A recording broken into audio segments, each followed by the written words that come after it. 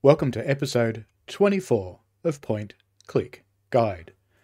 This time we're going to talk about a new way to create Street View blue lines. Google are releasing a new kind of Street View creation with your phone. This is the machine I use to make it because I do bike paths and trails.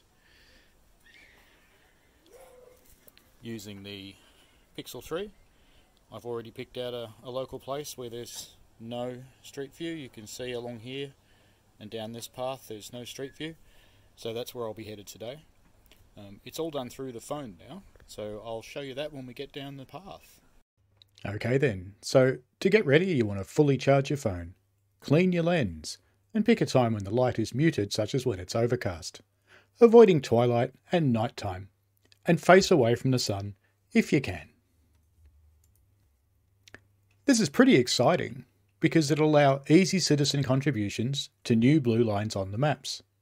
Selected phones that support AR Core 2 will be able to create street view imagery and blue lines on the map. You use a simple forward-facing video mode, so there's no more need for an expensive 360 camera to make blue lines. That will still work, of course. The program is open to local guides level 6 and above. So first up, determine if your phone supports AR Core 2. Consider a gimbal phone holder for steady video, and install the Street View app on your phone and allow it to see your location when you're using the app. Find places with no Street View in your community, such as bike paths and walking trails, and plan out your path. Starting out, you want to find places that need Street View, where there are no blue lines now. Go to the start of the path physically, open the Street View app.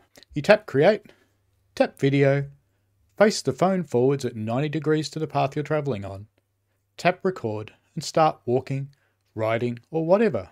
Be safe and try to avoid people. As you go along, you might see some warnings. You need to keep the phone facing straight ahead. The app is capturing video as you move along down the path, and the app is showing your path in a little window on the map. Stay aware of your surroundings and be safe, and tap stop when you've finished. And because you only face forwards, it can be good to go back the other way. So we're travelling down a bike path here, and I'm about to turn around and go back in the opposite direction. And the reason why this is good is because it helps people who are using Street View on the map to see what you saw, no matter which direction they're travelling on the path. So back we go now. I find it's helpful to record them both as separate sessions in case I need to re-record one of them. Because perhaps some people turned up or something like that, or something got in your way. It's good to double up like this. It just makes life easier. As you go along, you might see some warnings or some prompts.